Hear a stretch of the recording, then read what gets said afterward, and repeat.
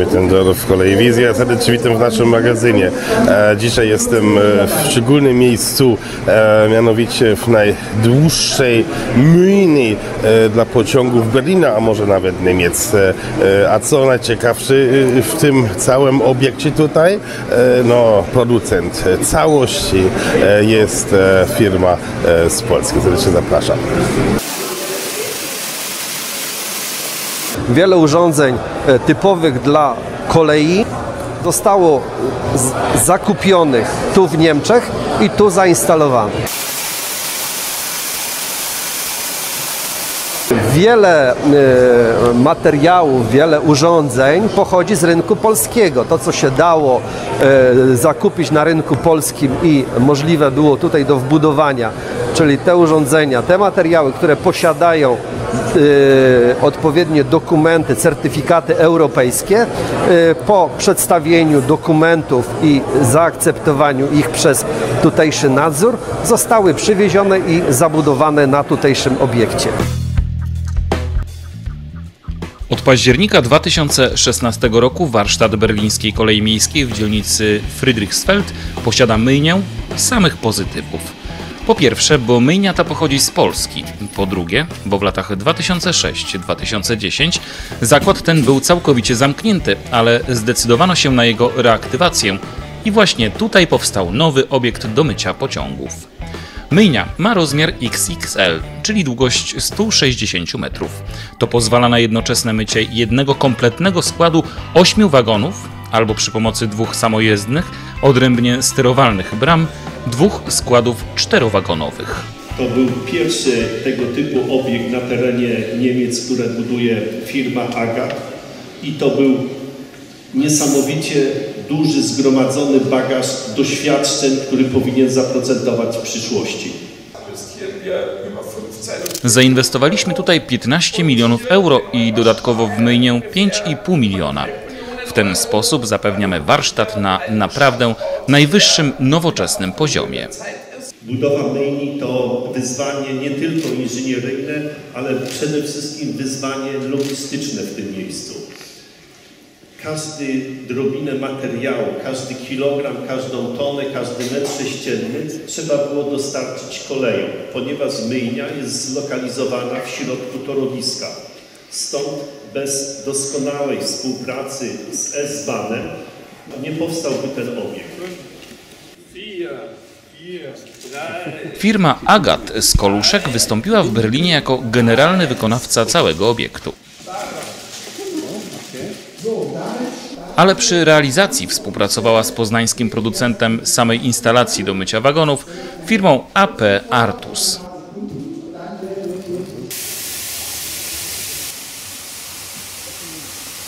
Brama cicho przesuwa się wzdłuż wagonu. Wyposażona jest w obrotowe wałki szczotkowe oraz system wężyków, z których przez dyszę dostarczana jest woda oraz środki czyszczące. A jak oczyszcza się wagony zimą? Ta instalacja jest y, bardzo y, moim zdaniem dobrze przemyślana, gdyż największe y, zwałowisko lodu jest pod pociągiem.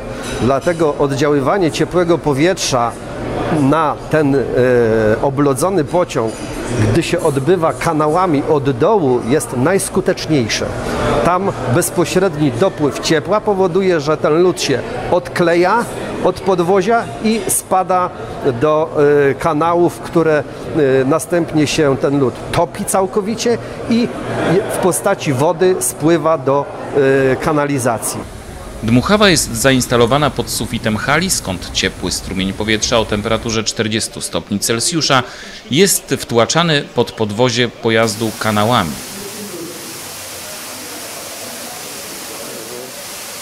W trakcie mycia nie trzeba wcale dotykać wrażliwej instalacji znajdującej się pod podwoziem wagonów. Sprawy związane z bezpieczeństwem e, są tutaj postawione na najwyższym poziomie. Na najwyższym poziomie i e, pewność e, bezpieczeństwa jest zapewniona w ten sposób, że pociąg tutaj wjeżdża o własnych siłach, czyli wtedy ta trzecia szyna, sztromszyna jest zasilona. Następnie są tak skonstruowane urządzenia zabezpieczające, że dopóki prąd z trzeciej szyny nie zostanie odłączony, tak długo myjnia nie może być uruchomiona. Wymóg cyklicznego mycia pociągów wynika chociażby z umowy zawartej między koleją miejską i Związkiem Komunikacji Berlin-Brandenburgia, czyli w skrócie VBB, jako zamawiającym miejskie przewozy. Umowa zakłada, że przy temperaturze powyżej 5 stopni Celsjusza wszystkie pociągi należy myć z zewnątrz przynajmniej raz na dwa tygodnie i to w jednakowym procesie. Po czasowym zamknięciu tutejszego warsztatu koszty mycia wzrosły, bo wszystkie pociągi należało, czy to do myjni, czy w celu naprawy, wozić przez pół miasta do innych warsztatów. Poza tym konwencjonalne myjnie potrzebują godzinę na wykonanie jednego cyklu mycia. Nowa instalacja wykonanie całego procesu zapewnia w ciągu 30 minut. Do jej obsługi wystarcza jeden człowiek. To, co tu spada do kanałów, jest e, kierowane do oczyszczalni ścieków, która jest tuż za ścianą i znaczna część tej wody po oczyszczeniu jest używana do procesu mycia pociągu.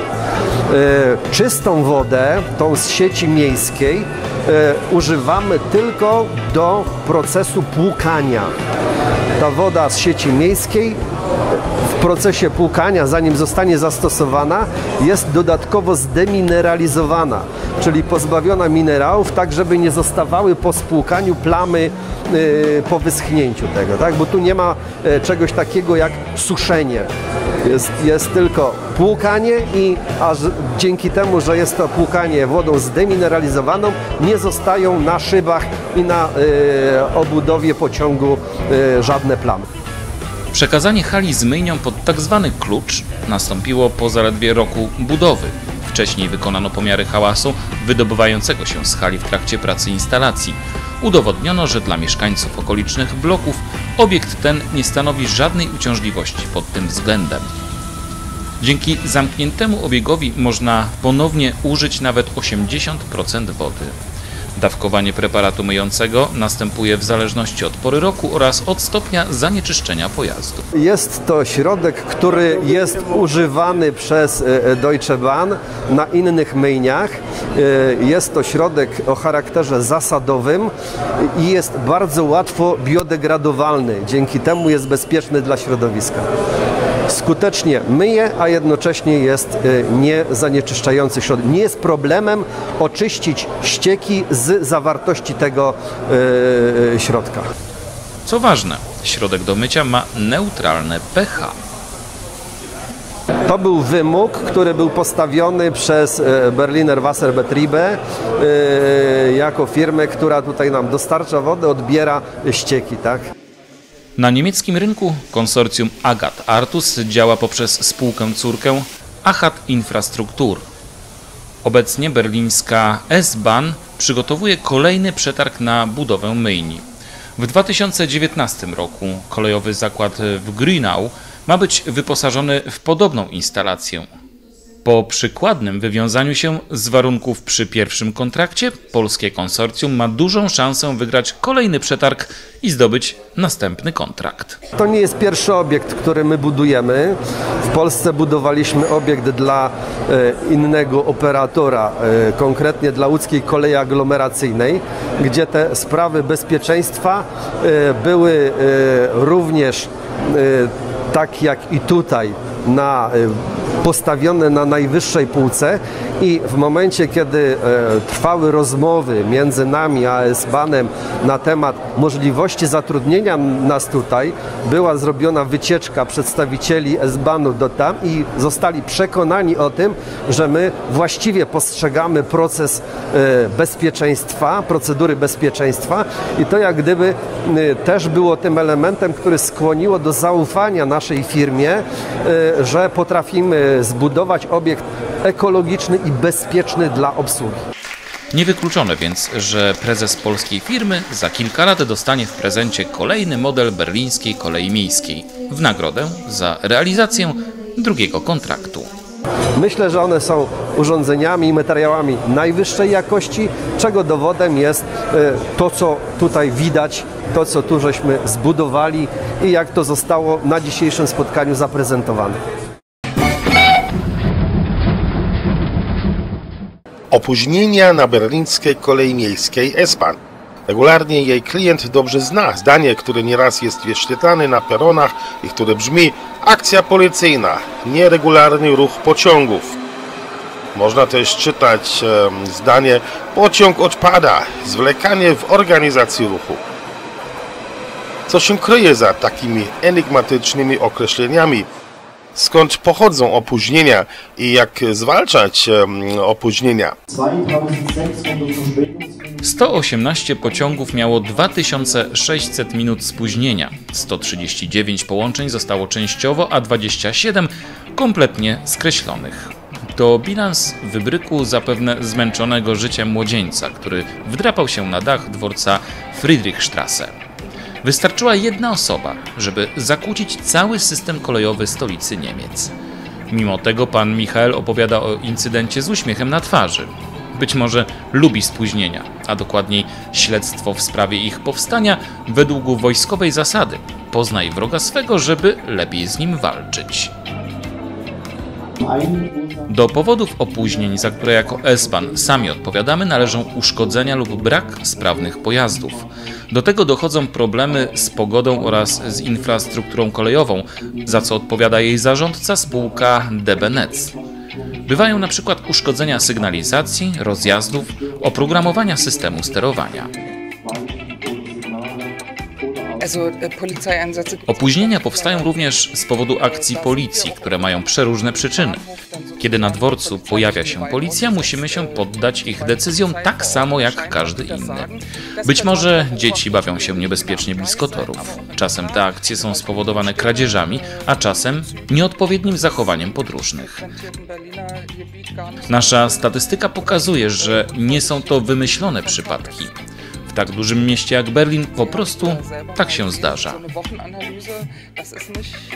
A statystyka szelestu w rozkładzie jazdy, bo tym lirycznym określeniem berliński kolejarzy mówi o opóźnieniach, różni się na poszczególnych odcinkach kolei miejskiej. Najlepiej wypada linia 3, najgorzej tak zwana Ringbahn, czyli kolej pierścieniowa otaczająca swoimi torami centrum miasta. 2014 rok wykazał średnią punktualność zaledwie 94,7% pociągów. To za mało. W umowie z zamawiającym usługi przewozowe Związkiem Komunikacji S-Bahn zobowiązała się do punktualności 96% pociągów. Niewywiązanie się z tego obowiązku wiąże się z karą umowną. W interesie tak samo pasażerów, jak i operatora jest więc usprawnienie ruchu. Z tego powodu wykonuje się prawdziwe prace detektywistyczne.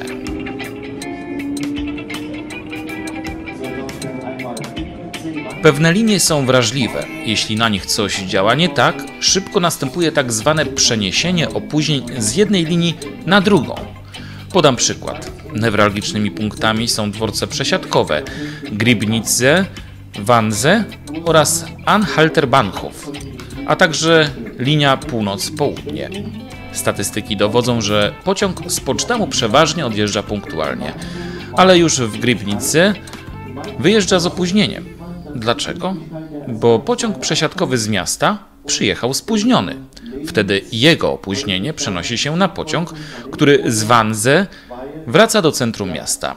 Linia S1 dojeżdża do tunelu północ-południe z opóźnieniem, co przenosi spóźnienie na S2. Dalszy przebieg statystyk pokazuje coraz niższy procent punktualności. I tak dalej, i tak dalej. Rozwiązaniem okazała się zmiana kolejności kursowania linii. Najpierw przepuszczamy przez tunel S2, a potem S1.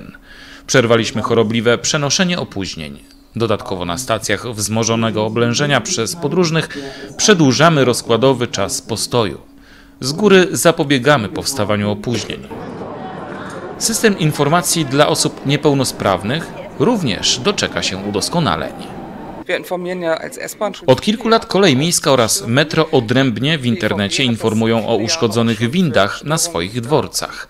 Teraz wspólnie z jedną z zainteresowanych organizacji opracowaliśmy spójny program informatyczny. Wpisując w wyszukiwarce na stronie internetowej miejsce odjazdu i cel zaplanowanej podróży, od razu pojawia się informacja o uszkodzonych windach. Obecnie pracujemy nad ulepszeniem oprogramowania. System ma od razu podawać alternatywne możliwości przejazdu taką trasą, gdzie każda winda jest czynna.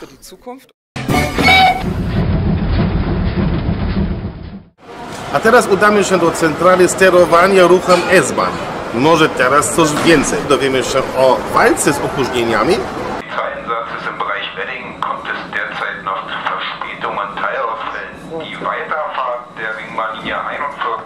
Z powodu akcji policji w dzielnicy Wedding ruch pociągów nadal jest nieregularny. Częściowo dochodzi do skreśleń pociągów. No dobrze, można spokojnie opuścić pociąg i pospacerować po peronie. Ale dlaczego z innego peronu z głośnika przebija się informacja, że powodem opóźnienia jest uszkodzenie pociągu? Dzień po tym niezaplanowanym incydencie udaliśmy się do centrali sterowania ruchem kolei miejskiej. Może tu dowiemy się czegoś więcej. Dyspozytornia berlińskiej kolei miejskiej mieści się na trzecim piętrze biurowca w okolicach dworca Hallense. Od stycznia 2016 roku kolejową siecią miejską o długości 332 km zarządza spółka córka państwowego przewoźnika Deutsche Bahn DB Netz. W przypadku awarii czy innych nieregularności decyzje są podejmowane wspólnie z dysponentami pojazdów i maszynistów. Skutki nieregularnego ruchu możemy próbować łagodzić. Jeśli pociąg się popsuł, jeśli nagle pojawia się o wiele więcej podróżnych niż zwykle, to na to nie mamy wpływu. Ale na życzenie operatora próbujemy wtedy udostępnić pociąg zastępczy lub dodatkowy, który punktualnie wyjeżdża z powrotem z końcowej stacji. Do nadzorowania ruchu służą monitory, na których wyszczególnione są wszystkie trasy, sygnały oraz pociągi. W zależności od potrzeb obsługujący ustawia monitoring na wgląd ogólny lub szczegółowy. Cała sieć dzieli się na trzy okręgi sterowania zarządzane w normalnym ruchu przez ekipę liczącą do 12 osób. Elektroniczna nastawnia jest operowana przez dwa niezależne od siebie systemy oprogramowania. Polecenia dysponentów wykonuje się jedynie wtedy, kiedy rozpozna i potwierdzi je każdy z systemów komputerowych. W ten sposób omija się błędne działanie elektroniki. Widzę wszystkie nieregularności, przedwczesność opóźnienia, braki pociągów. Sygnalizacja na peronie zgłasza mi aktualny stan sytuacji. Wtedy dokumentujemy powody opóźnień, wzmożony ruch pasażerów, potrzebne wsparcie dla podróżnego na wózku inwalidzkim, uszkodzony pociąg, opóźnioną reakcję sygnalizacji, uszkodzone sterowanie, spóźnienie przeniesione z innego pociągu.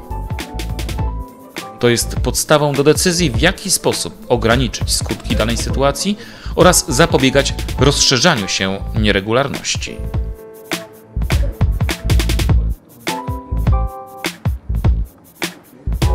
Codziennie z pociągów berlińskiej kolei miejskiej korzysta około 1 300 tysięcy podróżnych. S-Bahn zarządza ponad 600 pociągami oraz 166 dworcami, z których 33 są położone na terenie Brandenburgii. To system wrażliwy na każde perturbacje. Kiedy na przykład pociąg ma awarię, skutki bardzo szybko się poszerzają. Wtedy widzę na monitorze, że odstęp między pociągami jest dłuższy niż zwykle. Skutek jest przewidywalny. Podróżni czekający na peronie wybierają pierwszy następny pociąg. Wsiadanie do niego trwa dłużej niż wtedy, gdy czeka mniejsza ilość podróżnych. W ten sposób opóźnienie się wydłuża. To widzimy też na tych wykresach. My je nazywamy wzorami dziewiarskimi. To rozkład prognozowany, obliczający rozwój sytuacji na podstawie powstałej nieregularności oraz doświadczeń. Luka między pociągami się powiększa. Można przewidzieć, kiedy pociąg naprawdę dojedzie do ostatniego dworca na linii.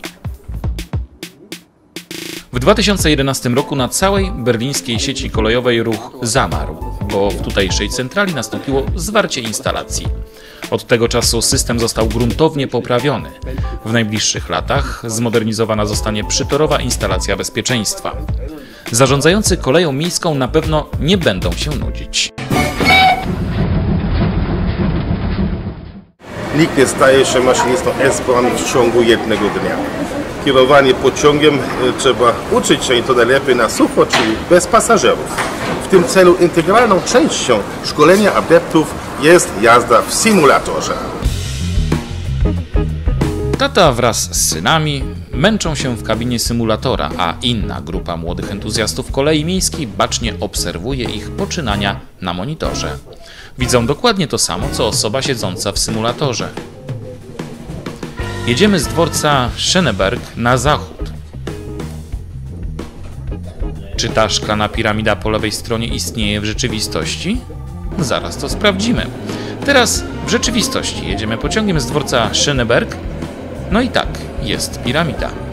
A co z tym niebiesko-białym kwadratem? Widać go również w symulatorze. Tylko czasami S-Bahn pozwala mieszkańcom Berlina sprawdzić swoje siły w symulatorze. Ma to zachęcać do wyboru zawodu maszynisty, ale również pokazać, że mistrzem nie można stać się w ciągu pół godziny. Tata nieźle główkuje. Co napisano w rozkładzie jazdy, jaka jest dozwolona prędkość. Obserwatorzy mu współczują lub chwalą się wśród kolegów swoją wiedzą. Oj, chyba trzeba już hamować. Na tym dworcu obowiązuje system ZAT, czyli samodzielna odprawa pociągu przez maszynistę. Z tego powodu na każdym postoju wyświetlane są również drzwi pociągu. Symulator jazdy to skomplikowane urządzenie. Nie tylko jest wyposażony podobnie do realnej kabiny pojazdów kolei miejskiej. Dodatkowo kabina jest zamocowana na instalacji symulującej ruchy podczas jazdy. Tak jak w prawdziwym pociągu, kabina pochyla się w zakrętach, w zależności od prędkości, mocniej lub słabiej. I znów dworzec z systemem ZAT. Sprawdzamy więc, czy drzwi są wolne i można je zamknąć. Odjazd i gaz do dechy. Pojazd szybko nabiera prędkości 22, 23, 24 km na godzinę. Tylko, oby nie za szybko, za chwilę trzeba będzie znowu hamować.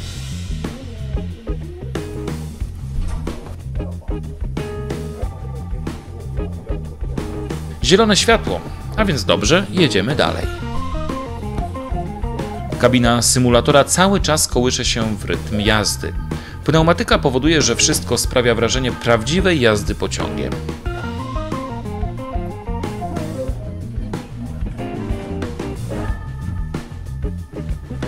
Ale zaraz, litera H oznacza stop. Hm, a gdzie jest hamulec? No i nie udało się. Pociąg zatrzymał się daleko za dworcem. No tak, trzeba to zgłosić do dyspozytora. Przecież gdyby był to prawdziwy pociąg, to centrala nie widziałaby bezpośredniego obrazu z kabiny symulatora. Synu, odejdź, jesteś mizernym maszynistą. Tato, proszę, nie. Panie dyspozytorze, proszę. Następnym razem zrobią to lepiej. Halo, dyspozytornia? Na Heidelberger Platz mamy mały problem. Nagle peron stał się nieco krótszy niż normalnie. Co mamy zrobić? Wrócić wstecz do peronu. Deklarujemy to jako jazdę przetokową. To dobrze, że udało się wybrnąć z tej sytuacji. No tak, przed jazdą prawdziwym pociągiem adepci muszą się jeszcze trochę nauczyć. To jest wszystko na dzisiaj w naszym magazynie. Jestem nadal e, no, mało mokry, więc e, spokojnie e, jadę do domu. Oczywiście oczyszczonym pociągiem kolei miejskiej z Berlina. Następnego razu. Do widzenia.